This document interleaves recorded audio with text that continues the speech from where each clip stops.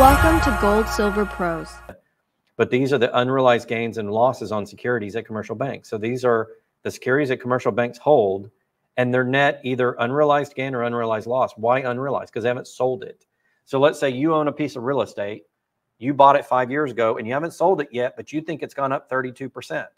What is your unrealized gain because you haven't sold it and taken that money off the table? 32% more than what you put down, right?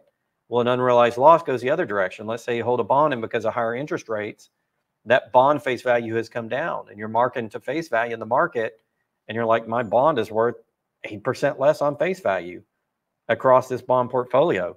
That's an unrealized loss. You haven't sold that bond. You're still getting maybe the coupon payments for the interest rate. So you can still say it's cash flow positive. But if you're turn around and sell that's worth a lot less. That affects the solvency of your organization because it's an asset.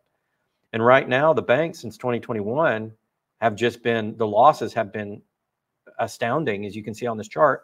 And not only that, but they lost a trillion dollars in commercial deposits in 2023. They lost a trillion dollars in commercial deposits. Why is that important on this chart?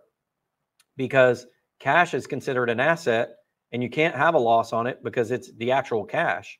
So there's no unrealized gain or loss on cash. It's just a straight asset.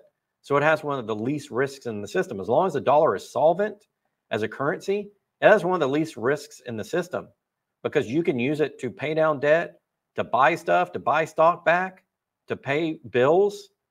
So so they lost a trillion that they could use to put out in the market and offset some of these losses or to buy out some of these losses and sell off some of this debt and use your cash reserves to say, you know, to to make up the difference.